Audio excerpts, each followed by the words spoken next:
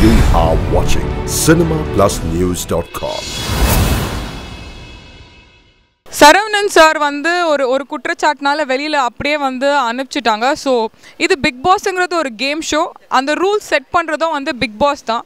So அவங்களுக்கு என்ன rights வேணாலும் இருக்குது எப்போ வேணாலும் பண்ண. ஸோ அவங்க ரூல்ஸில் இல்லாதது பண்ணவே இல்லை.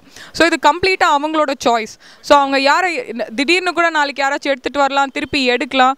அதுக்கு அவங்க ஒரு ரீசன் சொன்னாங்க ஆக்சுவலி அவர் அந்த மாதிரி சொன்னது பப்ளிக் கிட்டேருந்து ரெஸ்பான்ஸ் வந்ததுனால அது பிக் பாஸ் ஒஃபெண்ட் ஆகிட்டதுனால அதை வெளியில் அனுப்பிச்சிட்டாங்க அண்ட் மது வந்து உள்ள இருக்கும்போது ரொம்ப பெரிய தப்பான விஷயம் சூசைட் அட்டம் பண்ணுது. பட் இருந்தாலும் அவங்க அங்கே என்ன மாதிரி டிப்ரெஷன் ஃபேஸ் பண்ணாங்கன்னு நம்மளால சொல்ல முடியாது.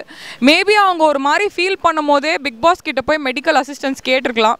ஏன்னா நான் உள்ளே இருந்தப்போ நான் ஒரு வாட்டி யோசித்தேன் பிக் பாஸ் கிட்ட போய் சொல்லி சைக்காட்டிஸ்ட் கிட்ட பேசலாமா அப்படின்னு எனக்கு கொஞ்சம் மன அழுத்தம் இருந்தப்போ மேபி அந்த ஸ்டெப்பை அவங்க எடுத்திருக்கலாம்.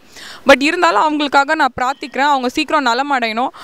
எனக்கு ரொம்ப கஷ்டமாக இருந்தது. அது கேள்விப்பட்டும் போது ஏன்னா உள்ளே வந்து ரொம்ப மன அழுத்தம் ஜாஸ்தியாக இருக்கும். அவங்க யார்கிட்டயாச்சும் ஷேர் பண்ணியிருக்கலாம் இல்லை பிக் பாஸ் கிட்டே போய் சொல்லியிருக்கலாம் எனக்கு சூசைட் பண்ணும் போல இருக்கா அப்படின்னு.